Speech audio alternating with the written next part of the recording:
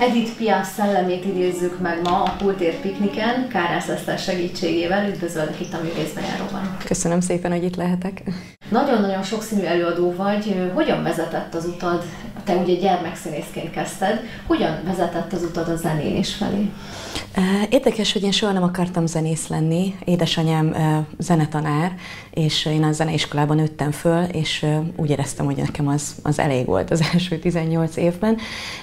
Viszont hát ugye gyerekszínész voltam, és, és egyenes utat gondoltam magamnak a színművészetire, de most így utólag azt gondolom, hogy szerencsére nem vettek föl.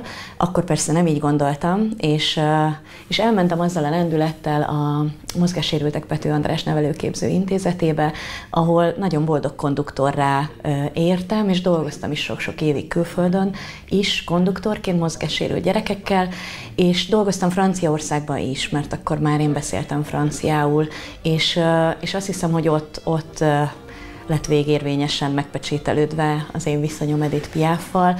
Akkoriban nagyon sokat voltam magányos, ugye egy idegen országba, egyedül, frissen végzett főiskolásként, egy nem is olyan könnyű szakmában, és nagyon sokat hallgattam Piafot, és nagyon sok mélypontból húzott ki, és tutoráztam és énekeltem is, de soha nem akartam nyilvánosság előtt énekelni, mert azt gondoltam, hogy Piaf után már minek. És ha valaki akarja hallgatni, akkor biztos az ő lemezeit teszi föl, vagy, vagy róla néz videókat.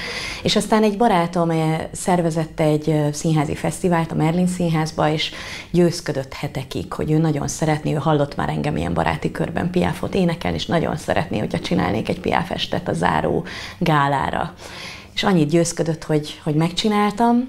Igazából az volt a fő érv, hogy azt mondta, hogy, hogy, hogy szerinte ez elég egyedi, hogy én egyáltalán nem próbálom meg utánozni Piafot, nem is szeretnék olyan lenni, mint ő, mert lehetetlen, ő egy volt, és, és teljesen fölösleges utánozni. Viszont engem annyit segített nehéz pillanatokban, hogy nagyon szeretem megmutatni azt, hogy, hogy mit kaptam tőle, és átadni ezt az örömöt.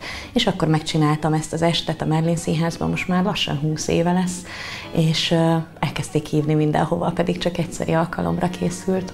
Amikor készültem erre a beszélgetésre, bennem is felmerült ez a kérdés, hogy azért mennyire jelenthet nagy kihívást egy ilyen hatalmas művész nyomdokaiba lépve az ő dalait énekelni és, és színpadra vinni.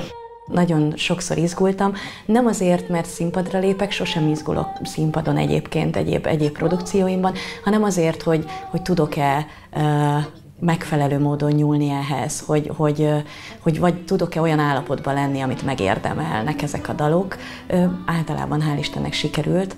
Ő nekem egy ilyen földön túli mester. Én az elmúlt húsz évben rengeteget tanultam az ő, ő dalaiból. Kicsit olyan, mint hogyha lenne egy mesterem, aki, a, aki, aki vezet oda föntről, aki, akivel így a dalokon keresztül el tudok beszélgetni a magam kétségeiről, a magam művészi útkereséseiről, én nagyon, nagyon sokat tanultam tőle, nem csak a dalaiból, és nem csak a dalairól, hanem úgy egyáltalán a színpadra állásról, arról, ahogy, ahogy ő mindig 150%-kal égett a színpadon, és hogy nem lehet soha semmilyen színpadra, ha egyetlen néző is van. Ha csak egy valaki ül ott, akkor is 150%-ig kell elégetni magát az embernek ott és, és még nagyon sok mindent. Ugye az Eszter Lánc zenekarban már nagyon sokszor hallottunk téged énekelni, és úgy is ismertünk meg. A, a sanzon viszont annyira népszerű, szerinted mi a titka, hogy ennyire, ennyire közkedvelt és népszerű a mai napig, mint műfaj? Azt hiszem, hogy azért örök, és valószínűleg száz év múlva is ugyanúgy élni fognak ezek a sanzonok, mert olyan érzésekről szólnak, amik mindenkiben mindig megvannak. A szeretet, a szerelem, ez mindenki életét végigkíséri, és valahogy olyan módon nyúl ezekhez az érzésekhez hozzá, amik nem tudnak kimenni a divatból. Én, én magam abszolút elkötelezetten képviselem a sanzont. Azt gondolom, hogy, hogy nagyon ritka, hogy ilyen nívósak a szövegek, ilyen nívós a zene, és tulajdonképpen egy-egy sanzon nem is, nem is egy dal, hanem egy maga egy kis mini dráma, vagy egy mini vígjáték, vagy egy mini színház, egy három perces történet. Ugye én franciául énekelem ezeket a sanzonokat, elsősorban azért, mert nem tudja a magyar nyelv visszaadni azt, amit franciául ezek jelentenek, de énekelek magyar sanzonokat is, század elejei kuplékat, sanzonokat, amikben a, a néző is még jobban együtt rezekhet a szavakkal is, és a nagyon jól megírt szövegekkel is, de az a tapasztalat, hogy ebben a Piaf estben is hiába van franciául, mégiscsak valahogy átmegy a történet azoknak is, akik, akik nem beszélnek, nem beszélik a nyelvet.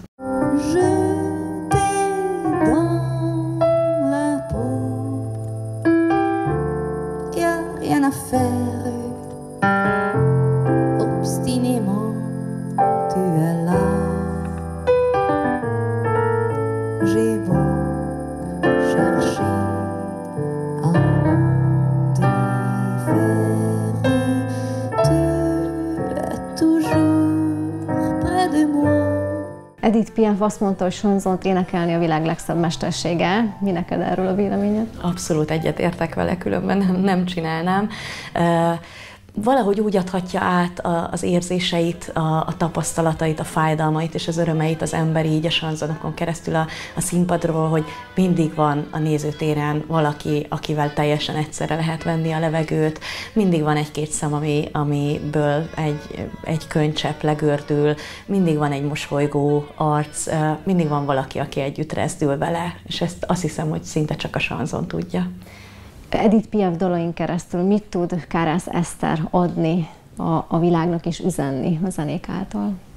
Azt hiszem, hogy talán azt, hogy, hogy ezzel a szeretetvágyjal, amivel Piaf végigélte az életét és énekelte a dalait, ezzel mindenki együtt él, és ezzel nincsen semmi baj, és hogy, van egy, egy riport, amiből olvasok is egy részletet a, ebben az estben. Ez egy Piaf utolsó éveiben készült riport, és azt kérdezi tőle a riporter, hogy mit üzenne egy nőnek azt, hogy szeressen, és egy férfiak, hogy szeressen, és mindenkinek azt üzeni, hogy szeretni kell, szeretni jó, és abban igazán kerek és boldog az ember.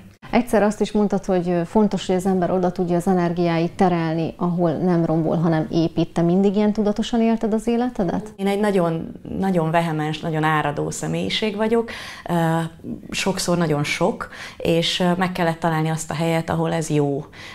Vannak olyan helyzetek, ha most én egy bankban dolgoznék, akkor valószínűleg mindenkinek pokollá tenném magam körül az életét, a kollégáknak is, meg a bankba bejövő kuncsaknak is, de a színpadon helyet találnak ezek az energiák. Én nagyon fontosnak tartom, és a két gyerekemnek is ezt próbálom tanítani, hogy mindenkinek van valamilyen személyisége, mindenkinek vannak valamilyen személyiségvonásai, amik bizonyos helyzetben építenek, bizonyos helyzetben meg rombolnak, és hogyha csak annyi a dolgunk, hogy megtaláljuk azt a helyzetet, azt a helyet, azt a munkát, amiben ez jó, amiben ez épít, amiben ez ad másoknak, és, és nem elvesz.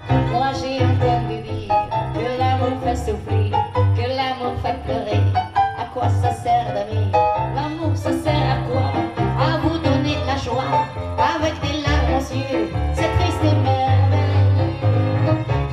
Thank you.